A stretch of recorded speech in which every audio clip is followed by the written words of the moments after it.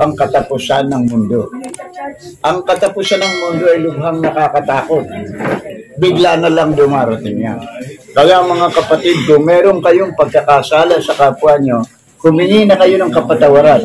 At kung meron nagkasala sa inyo, patawarin nyo na rin. Sapat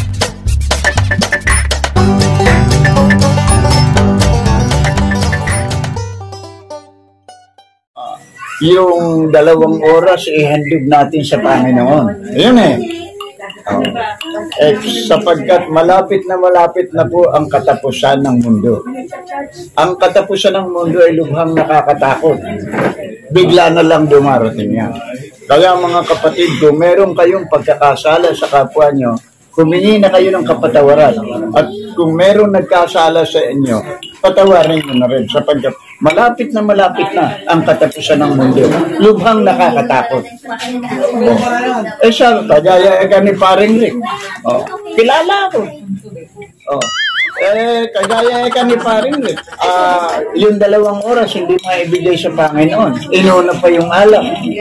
Hindi mo ba alam, Paring Rick, na napakalapit na ng katapusan ng mundo? Lubhang nakakatakot. Eh sabi ko, ano ay katatakot mo sa katapusan ng mundo? May utang ka, may utang ako, tapos ang mundo, which? May kasalanan ka, may kasalanan ako, tapos ang mundo, tabla tayo.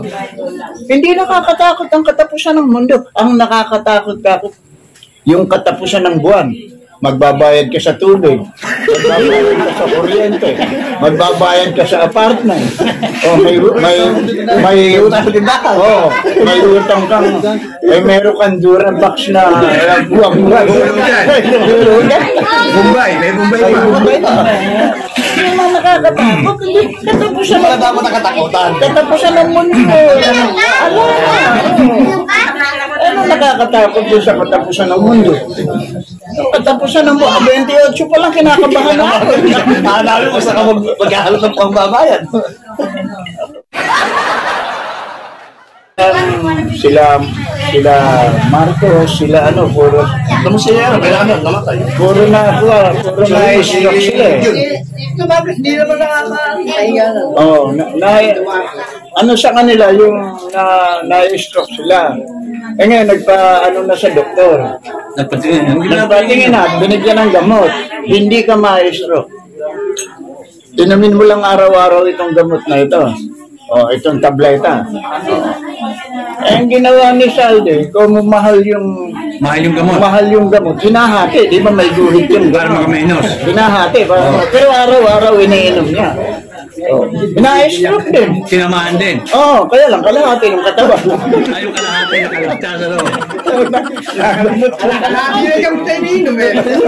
Pero kung isang buo pala, hindi. Ay, hindi madadala. Kaya kinakailangan sumunod kayo sa patakaran ng doktor. Kung hinahati, mali pala yung hati. Oo, oh, mali. Nag-menos eh. Ang nagyan menos. Eh, kaya yung sakit, menos din nung dumating. Kalahati.